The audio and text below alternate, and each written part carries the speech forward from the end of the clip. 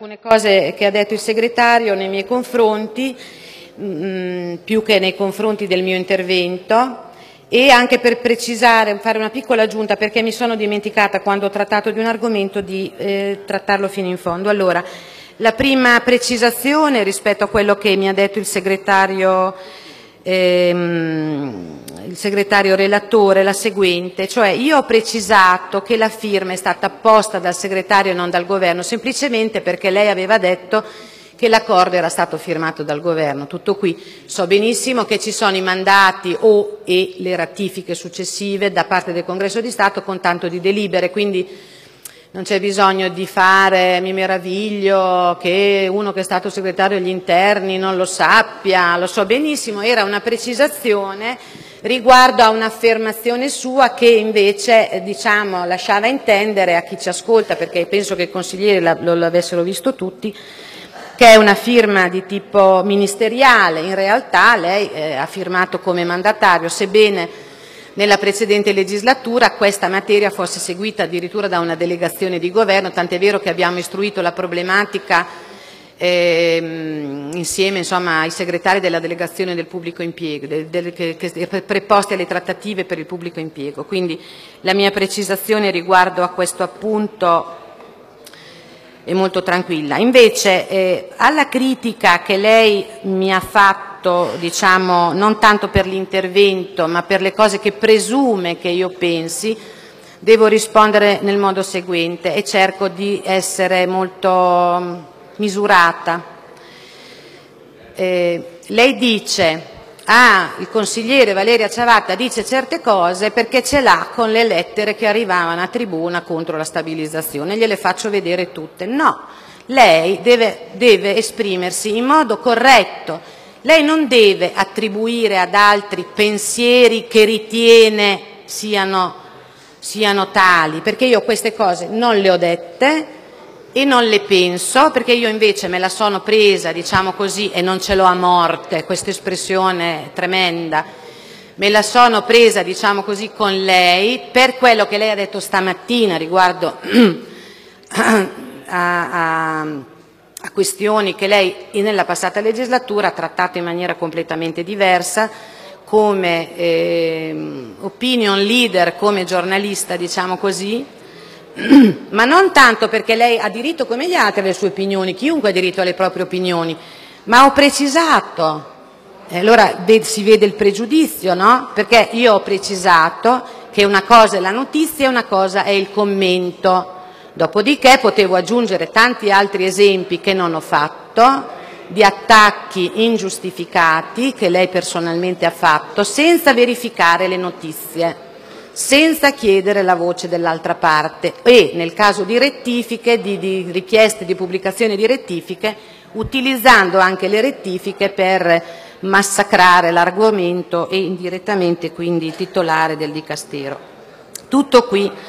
Invece volevo aggiungere una cosa al mio ragionamento che non ho fatto, ho dimenticato questa mattina, quando si parla braccio si rischia di fare così. Ehm, quando io ho parlato dell'allegato F per dire che è un regime normativo speciale rispetto a quello dei dipendenti pubblici, ho fatto il parallelo con le stabilizzazioni per cui in quella sede si era trattato di chi aveva i requisiti sulla pianta organica e quindi questo non era il caso, così come altri esempi che ho fatto. Volevo aggiungere una cosa che lei ha, eh, diciamo così, sfiorato, ma anche lei non è andato fino in fondo nella, nella sua valutazione. Lei ha detto, e io concordo, che praticamente sono cambiate le situazioni anche rispetto a quando l'allegato F è stato creato,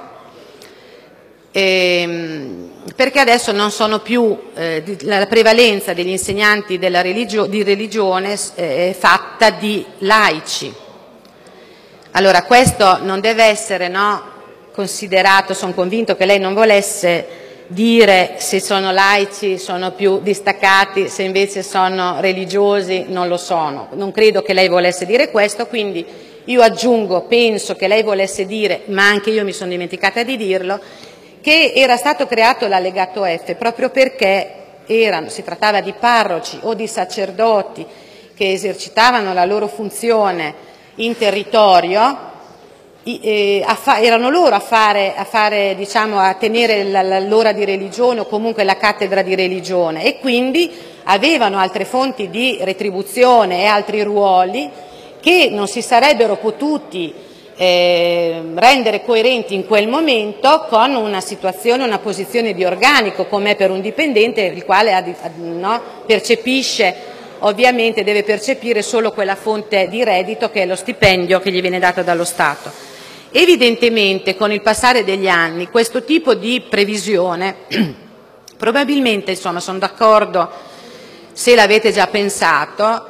eh, è una previsione che eh, va forse riveduta completamente perché eh, io ribadisco siamo per la parità di trattamento fra i dipendenti, fra gli insegnanti,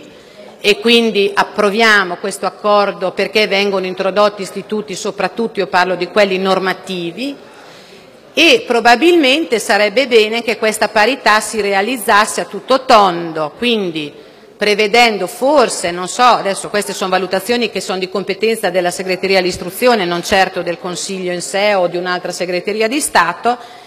prevedendo eh, forme diverse e forse la totale parità eh, perché questa diciamo, distinzione tra chi è nell'allegato F e chi invece non c'è, forse adesso non si giustifica più secondo quelle, quei motivi giustificativi invece che c'erano in passato quando questa, questa, diciamo, questo strumento è stato adottato. Tanto è vero che nell'allegato F, se ricordate, c'era anche l'insegnante di diritto proprio perché l'insegnante di diritto era comunque in quel momento un magistrato o un libero professionista che eh, veniva assunto, diciamo così, o, o, veniva incaricato di fare anche le lezioni o veniva assunto a convenzione nel caso del professionista, mentre oggi anche l'insegnante di diritto è un insegnante come tutti gli altri. Quindi questo per dire questo per dire che oltre alle riflessioni di carattere culturale che lei ha apprezzato tanto mh, e che per noi sono assolutamente fondamentali, c'è anche una questione di tipo organizzativo e di rapporto di lavoro che va comunque affrontata. Mentre sul piano di carattere più generale io vorrei ricordare ai consiglieri che hanno criticato questo trattamento in quanto si tratta dell'insegnamento della lingua di religione, perché il nostro Paese ha eh, una, uno spessore, diciamo pure culturale, identitario ed anche istituzionale, eh, nel quale eh, non si può ignorare che siano presenti elementi anche provenienti dalla cultura eh, cattolica, religiosa e cattolica, cioè non si può dire siccome eh, lo Stato deve essere laico, ignora assolutamente questo dato culturale ed identitario, perché allora questa non è laicità, ma è ideologia, è l'esatto contrario. Stamattina ho parlato della laicità o in senso ovviamente eh, di eh, rispettare assolutamente quello che viene portato nella nostra società anche da un certo tipo di cultura e di impegno che è assolutamente di grande valore cosa ad esempio che l'Europa non è riuscita a fare quando ha eh, cercato di redigere una Costituzione che comprendesse anche dei valori, se ci ricordiamo oggi che si parla dell'adesione o meno all'Unione Europea. Pertanto ehm,